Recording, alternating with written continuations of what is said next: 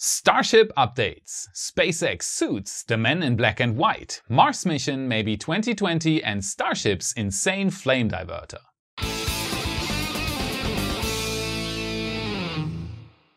My name is Felix and I am your host for today's episode of What About It. SpaceX has become insanely busy lately, so much so that it has become hard work to filter all the information coming in. Since Monday, loads of things have happened again, so let's dive right in. Starhopper 200 meter test imminent. So tomorrow is the day we've been waiting for since the 20 meter hop. Wet tests are go. New Rainbirds, go flight. Road closure dates, go. FAA approval, go flight. Crowd, definitely go for launch. There's one bit of new information about Raptor, which will power tomorrow's flight and the Starship prototypes. Elon has confirmed on Twitter that Raptor will have a specific impulse of around 330 at sea level and 380 in vacuum. In comparison, Merlin 1D, which is SpaceX's latest iteration for their Falcon 9 and Falcon Heavy engine, has a specific impulse of 282 seconds at sea level and 311 seconds in vacuum. So Raptor is already at a level which surpasses Merlin by 15% at sea level and 18% in vacuum. These are great numbers for a rocket motor so early in development. Parts, parts, parts. Starship prototype production has obviously been sped up greatly recently.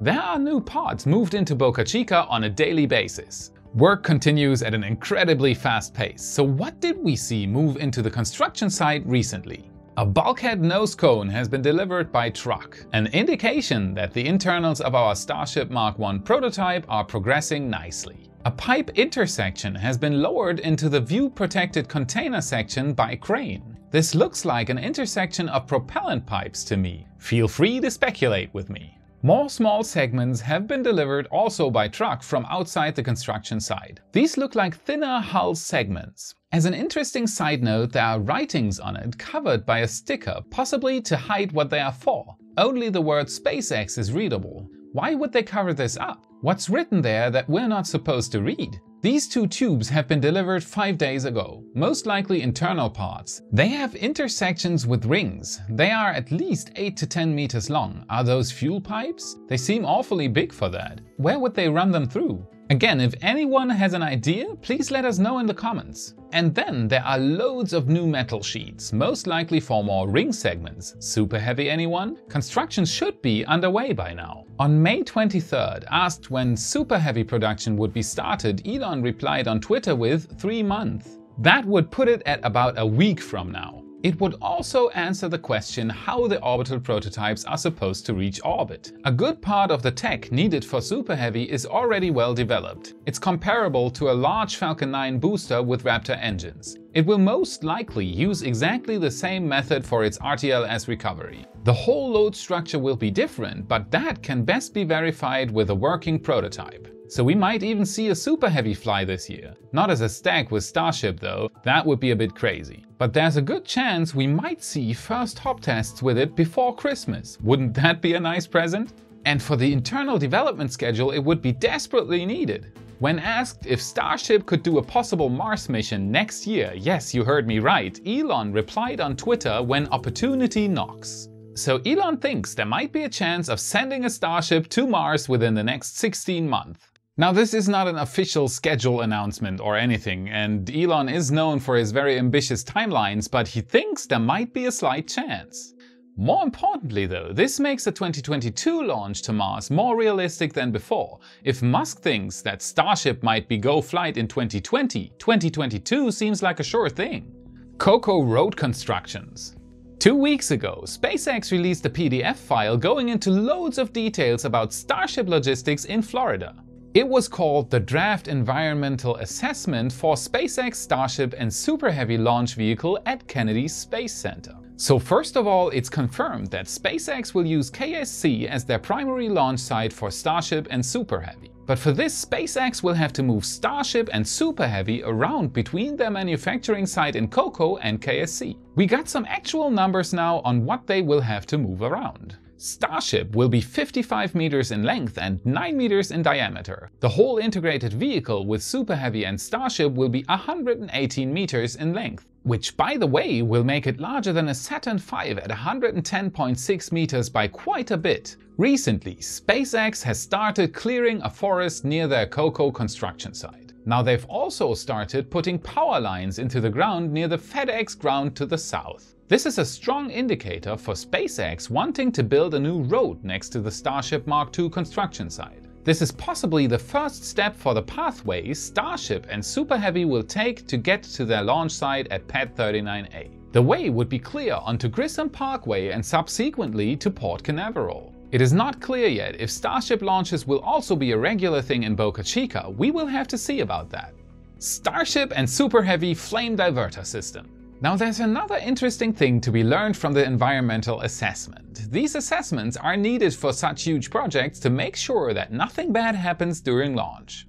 This includes assessments of environmental impact to nature, historic sites, and also noise and sound pressure. For a rocket like Starship and Super Heavy that's supposed to have at least 70,000 kilonewtons of thrust at launch, which is roughly double of what Saturn V had, you have to make sure nothing gets damaged when you ignite the engines. So Starship will not use the Falcon 9 Super Heavy launch structure. There will be a new one built on the opposite side on the same pad.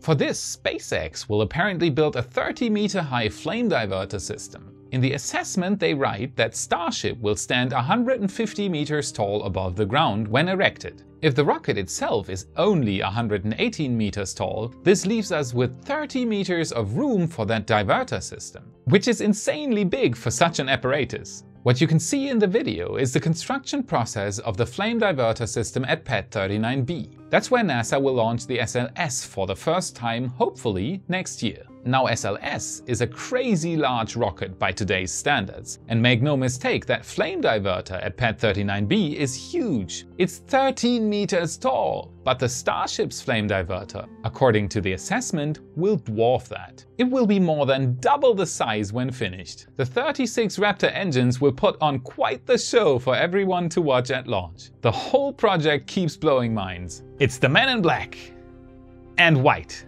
The main reason why space enthusiasts love SpaceX and their projects and visions is because they seem to do so many things right. They make rockets reusable. They want to go to the moon and to Mars not to plant flags and get dirt samples. They want to build colonies. But if we're truly honest, there's one more thing that makes SpaceX especially appealing to us. They're doing it in style. Be honest, we've all seen the Crew Dragon interior and got goosebumps because it looks so futuristic. Sure, we've also asked us if it will be practical to use, but the moment you see it, these thoughts are gone. It's so damn pretty, straight from a sci-fi movie. I've got so many comments from you about how Starship looks like a 50s sci-fi rocket and how we all appreciate the fact that SpaceX seems to also want to please these aesthetics. I mean, why did we love the space shuttle so much? Because it looked just awesome, majestic, futuristic. Now, SpaceX is also working on improving another aesthetic aspect of space travel. They are reinventing the way astronauts will dress for the most important occasion in their life. Even they will look great when they walk through the gangway towards their starship. They will be très chic, as the French say, when stepping out of their Dragon capsule into the ISS. And Bob Behnken and Doug Hurley are rehearsing emergency procedures for their upcoming Crew Dragon demo mission 2, which will send the two NASA astronauts to the ISS and mark a historic milestone for SpaceX. Recently, SpaceX held a training at their facility in Hawthorne, California for pre-launch operations. Doug Hurley, Bob Behnken and the ground operators got some very important routine for the NASA Commercial Crew Program. The training provided an opportunity for the integrated team to dry run all of the activities, procedures and communication that will be exercised on launch day when a Crew Dragon spacecraft launches on a Falcon 9 rocket from Launch Complex 39A in Florida.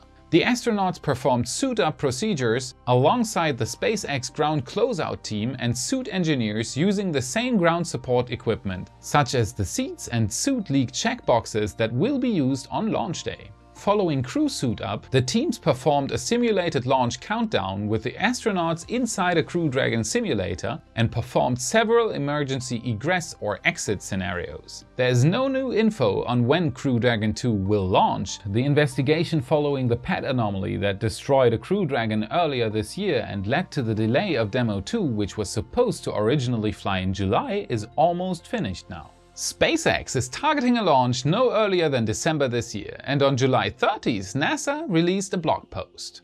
According to that, NASA Administrator Jim Bridenstine has directed all programs in the Human Exploration and Operations Directorate to re-examine flight dates once new leadership is in place to deliver realistic schedule plans. So it is very likely that a new launch date will slip into 2020. Until then, we have loads of exciting milestones on the Starship side of things, so don't you worry too much, we won't be bored in the meantime. So this wraps up today's episode of What About It? Is Super Heavy already under construction and are looks important to you when it comes down to rockets and spacesuits? As always, tell me in the comments. The end of the episode, as always, is reserved to a very special kind of fans, my patrons. And this week, as always, we have new names to put on the list and to butcher live on the show. So everyone, please give a warm welcome to Rick Strickland, an easy name. Thank you. Thank you for watching this episode of What About It. If you liked what you saw, please don't forget to subscribe and like as this helps me the most. Feel free to hit me up on my Patreon page so I can get additional help in doing more and better content as this gives me more time to focus on what I really love doing, to give you the latest and greatest about space and science. I hope to see you on the next episode. Until then, have a great time. SpaceX is targeting a launch no earlier than Thursday. yeah, no, what? Put it up, up, up. Just good. And Bob Behnken, Behnken? Be, Be, Behnken? Doug Hurley, Bob Behnken, and the ground ground operators. Mark. Mark.